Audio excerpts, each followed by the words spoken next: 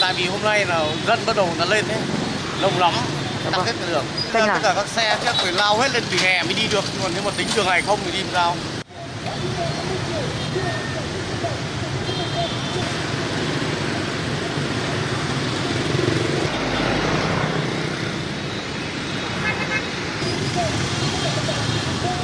Thank you.